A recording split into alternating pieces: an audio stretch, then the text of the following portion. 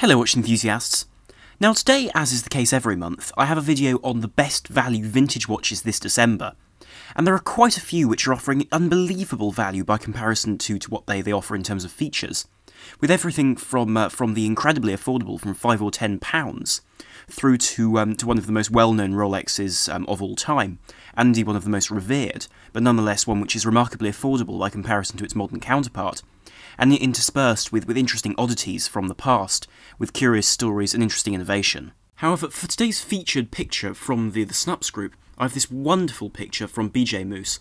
which is this fantastic, uh, fantastic gold tone 37mm chronograph from the 1960s, with, with these wonderful Dauphine style hands and this large bicompax layout, as well as this um, this dial with those wonderful Art Deco numerals, and uh, and also the the details of uh, Ebauche Suisse at the bottom of the dial, suggesting this is a movement which was Swiss, um, but the rest of the case isn't. Which is a curious aspect of vintage uh, watchmaking. They had far more more um, more manu more manoeuvrability in terms of what they wanted to place on the dial, and the way they stated what the watch was in terms of its um, its origins, which is all the more interesting for this timepiece. And of course, for those who don't know about it, um, do do feel free to follow the link down below and join the Snupps group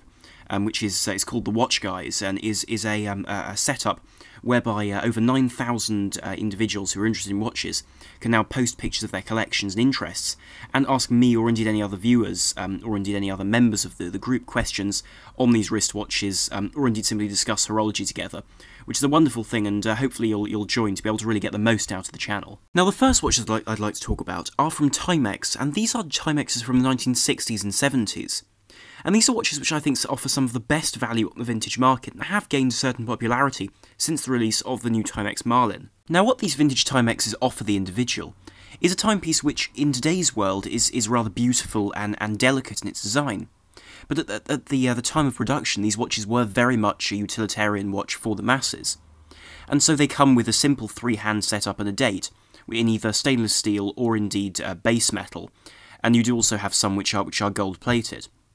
and these watches have an incredible price range of between about £5 and about £110 for the much rarer models. And this makes them exceptional value you're trying to get a mechanical watch out on a budget that will be both elegant and interesting, but you won't have to worry about too much and that you can truly wear as it would, would have been worn in, in its era. And these watches in terms of sizing are always on the modest size, with sizes generally between 34 and 36 millimeters, which means they won't be for the, for the larger wrists unless you, you like a small dress watch, which I must say is, is a very delicate and interesting thing to wear from time to time. And so for the average £40 which these, these watches cost, you are getting an incredible amount of watch, with attractive detailing on the dial as well as uh, nicely made cases. Albeit, if they are plated, um, the plating is is um, liable to, to, to coming off over time, but I must say at this price range that really isn't a concern. They also offer mechanical, manually wound movements from the era, which are curious and, and, interesting to, to have in a watch, because you do have a greater involvement with, with the owner, um, as the owner rather, of the timepiece. And I wouldn't say these movements are any, in any way inferior to the movements seen in the modern version of the Marlin, which is uh, simply a, um, a reappropriated Seagull uh, um, ST6 movement, which, um, which is very much in line with the quality of these sorts of movements. As well as that, Timex offer, offered quite a, a, great range of these with different dial options and different case options with everything from very simple dials to much, much more complex ones with, with gold and, and blue on them, which can be quite a remarkable sight to behold, especially at this price range. And so I think these rather interesting little pieces make really fantastic options as far as, as very, very affordable dress watches go because I'm acutely aware of the fact that uh, the, the, the, vast majority of people simply can't afford uh, watches that are worth a few hundred pounds, and I can understand entirely. And so it's wonderful to see vintage watches which are affordable and available, especially in spite of things like, for example, um, the, the, the Rolexes you see selling um, for, for over a million pounds for these extremely rare models. And, um, and it does bring things, I think, back into context that you can get these rather wonderful little pieces for a fraction of that price. Now, the second watch in the list is seemingly very similar to the Timex, and this is the Omega Seamaster DeVille from the mid 1960s. And I appreciate that I often talk about the Seamaster, especially the vintage models, as being superb value, really. But this particular model is a bit different from others, because this model is in many ways a very stripped back alternative to the, the more well known 1960s uh, large lug Seamasters. Because this was a model which, uh, even today, um, after being, being seen quite a lot actually on the vintage market, still remains very much underappreciated because this is a manually wound dress watch which is significantly slimmer than the other Seamaster models, but still retains the build quality and the beauty of those models in a, a more dress orientated package without any of that additional sportiness. And this manually wound watch with a 601 uh, movement, usually, or any, any of the 600 line of manually wound movements, are really tremendous options for someone who wants a slim dress watch, but with some history and, and a real heritage. And with regards to the variations of this watch, there really are quite a few, depending upon the dial variant and indeed the case. But as a rule, these are 34 or 35mm watches, with the vast majority of that being the dial, which does lead to an aesthetic which is, is very much in line with, um, with a watch which does appear like, for example, my Longines Conquest Heritage, where the dial takes up the vast majority of the case uh, real estate, which means that it does appear much larger than it would normally seem, because the dial is actually an equivalent size to, for example, a 40 or 41mm dive watch, simply without all that additional case around it and that makes these watches uh, appear far larger on the wrist uh, if you happen to have a larger wrist, making these watches a very interesting option and uh, in many ways more more wearable for larger wrists than uh, than the, the thick lug Seamasters, just because they have a slightly smaller dial and, and more case around the sides. As well as that, uh, you, you get these beautiful sunburst cream dials which often have aged and, and patinated in a wonderful, wonderful way, with applied indices and, and that typical Omega logo of the era, which is applied and has those little flares on the sides of the style of, um, of logo, which just look absolutely fantastic on this watch. And these watches do come in a number of finishes, as is really always the case with Seamasters of this era. The steel ones are the ones I would personally recommend because they'll be the easiest to maintain and keep up in terms of um, in terms of uh, finish maintenance, as well as the fact that uh, unlike the, the the coated versions, so for example the gold plated models, the wear will be more minimal and and less noticeable. As well as that, the fact that these watches were really the ultimate um, uh, level of dress watches means that unlike other models from other brands around this era, things like um, uh, like uh, Polerouters um, from Universal Genève, as well as the other Seamasters and even even uh, Rolex um, Oysters, these watches will generally be in much much better condition with really almost immaculate dials in a lot of cases. And this is because they would have been worn really always under a dress cuff, which eh, make, really works wonders with a watch if it's not actually worn in, in testing circumstances, as these watches weren't. And this means that you can really appreciate the detailing of these watches the way they were in their day, with a fantastically decorated case back and a beautiful dial and general case aesthetic with that wonderful domed Hesalite crystal. And as I've said, these watches feature the Omega Caliber 600 line of movements and these were in-house calibers from uh, from Omega themselves, which were manually wound, meaning that you lose the thickness that would be added by having an automatic winding system, making these watches incredibly slim and wonderful to fit underneath a cuff. As well as that, these movements from that era of Omega um, uh, Omega production from the 1960s, these uh, these movements really were at the pinnacle of Omega's quality and Omega were known for their extremely high quality in movements, um, really until that point, until the early 70s, when I think their movements, uh, most people will agree, took a, a, turn towards a far more utilitarian design, and didn't quite have the exacting quality of the 1950s and 60s. And this only really returned in the, in the late 90s with regards to their non chronograph calibers, because of course they always placed a lot of emphasis on their chronograph movements, with perhaps a little bit less emphasis on their automatic uh, three hand models, and indeed their manually wound versions. And so, for a price of about three to six hundred pounds, you're able to get a watch which really is a, a masterpiece in terms of a, a, classically inspired dress watch. And as well as that, the movement is easily serviced, but also has that exacting quality of Omega of that era, which is really a, a win-win scenario. As well as that, this watch allows you, for the price, uh, or rather a fraction of the price of one of Omega's heritage or vintage inspired models, to get the real deal in terms of a piece which will be in extremely good condition, with a movement which is easily serviced, and, uh, and with an aesthetic beauty which is really unbeaten to this day. For the third watch in this video, I would like to talk about yet another manually wound watch, and this is the Tudor Oyster, and that's not to say the, the, the, the automatic version, but rather the manually wound version with a, a an, an ETA movement because this watch is a very interesting piece in many ways because it plays off the style of the um, of the, the, the, the, automatically winding icon that is the, the Oyster Perpetual from Rolex, but offers Tudor's uh, take on this and also provides a case which is slimmer, more refined, and in many ways more versatile for daily wear. And of course, in any form, the, the Oyster case is the ultimate everyman's watch. It provides elegant design, which we've come to expect from Rolex and Tudor, as well as a very wearable design with that sloped bezel, the, um, the, the, very simple case profile, as well as a water-resistant package which is also um, perfectly dressy if you do want to dress it up and wear it as a, a formal timepiece. And so as a result, this version, which is the manually wound Tudor Oyster, offers an enormous amount. Because it's available in, in various year specifications, so really everything from the, the 50s models, which look far, far more, um, more sketchy, if you will, and in many ways more delicate in terms of the number of features on the dial, with rail, uh, rail track styles of, of indices around the, the edge of the dial, and uh, and also loomed hands, or later versions with the squared off hands and and far more uh, more Datejust um, uh, types of aesthetics, which I think add enormously to to your your choice when you buy one of these, giving you the option of going for either an earlier model or a later model. But what you can count on with these watches is they will have reliable and easily serviced manually wound ETA movements, which will be less service uh, in terms of pricing than the equivalent Omega movement, though won't have quite the refinement. Equally, the lines of these cases are really very, very beautiful, and in many ways uh, are, are very well associated with the style that Rolex are known for.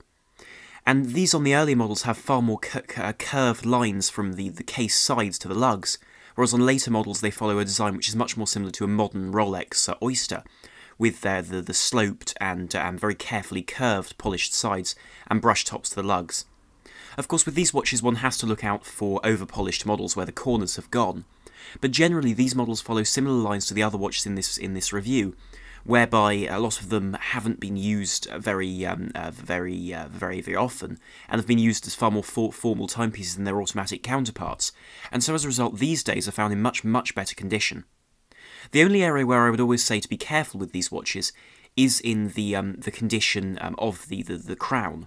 Because of course this has been used far more than the, than an automatic crown because it's been wound every morning. The seals in there will often have deteriorated, and often the threading can be a little bit more ropey.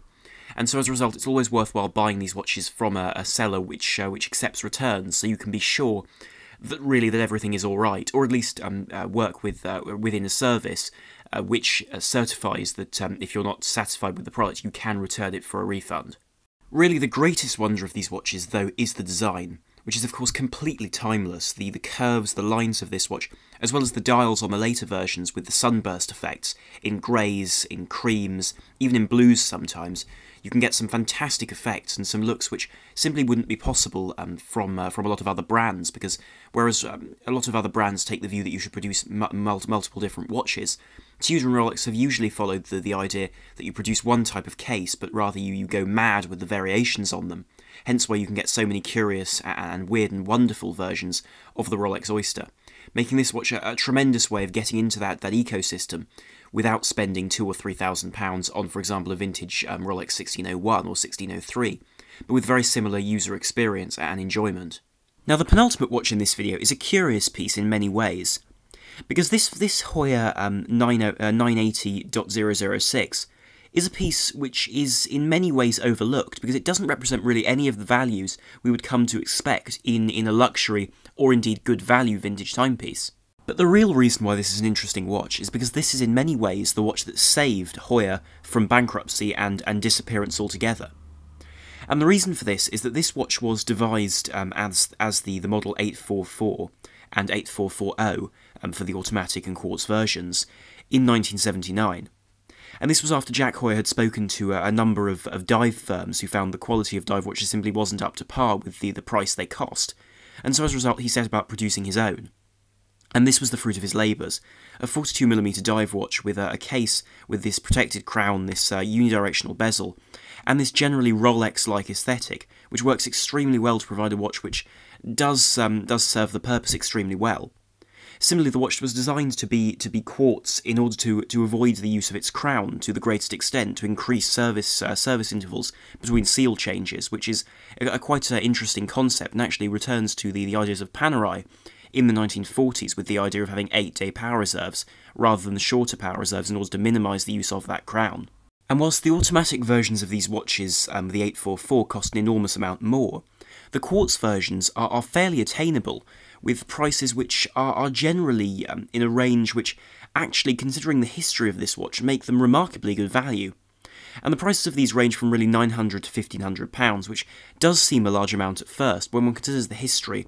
and the heritage of these watches, it actually seems very reasonable in my eyes. And these watches uh, became the 980.006 in, in 1980, and when their, their naming changed, and indeed the automatic version remained the 844. But this model exhibits a, matte black dial with that wonderful original Heuer logo, and that, uh, that, that white luminescence on it.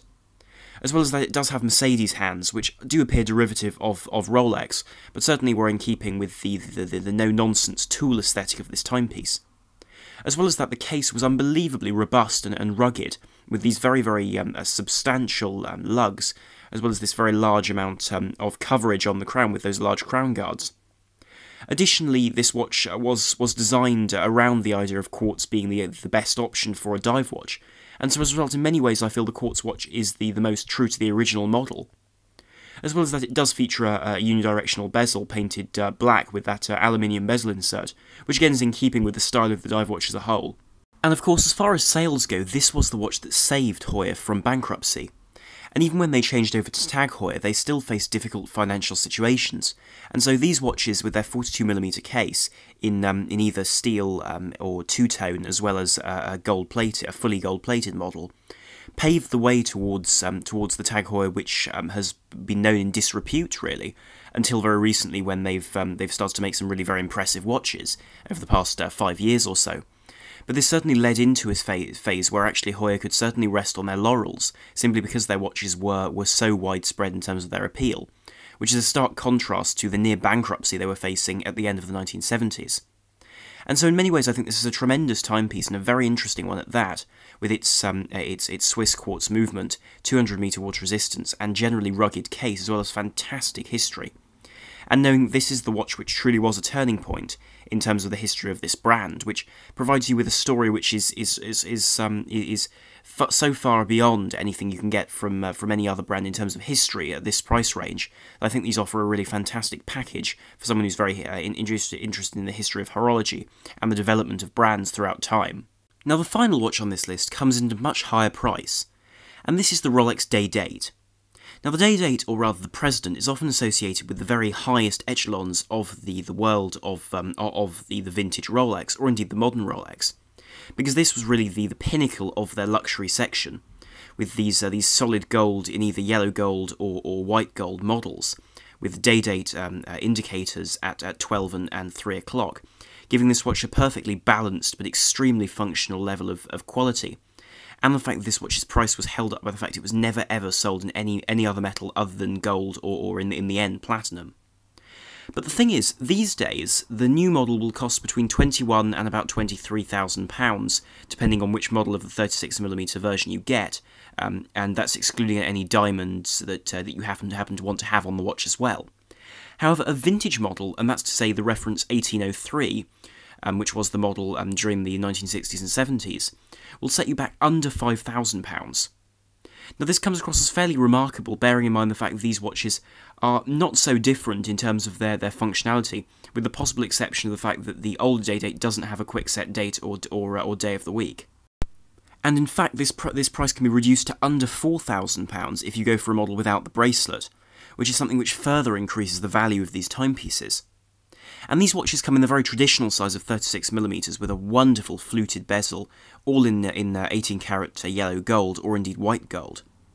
As well as that, the dials are fantastic things of beauty, being designed as the very most expensive of the Rolexes of their era, with these sunburst patterns and effects, as well as various colours, and even if you really hunt around, and these do come in at a higher price, um, of uh, really about double the price of these, you can get uh, semi-precious stone dials, which are also absolutely sublime, such as a lapis lazuli being used quite extensively for those blue dials, which looks absolutely tremendous, and, and, uh, and if you can get hold of one of these, they really are worth it.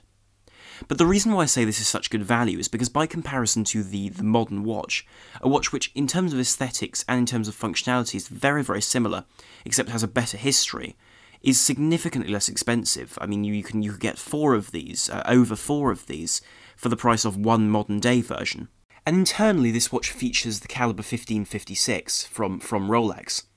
And this is a movement introduced in 1965, which offers this day date complication, and an automatic 26 jewel movement as well, with a beat rate of 19,800 beats per hour.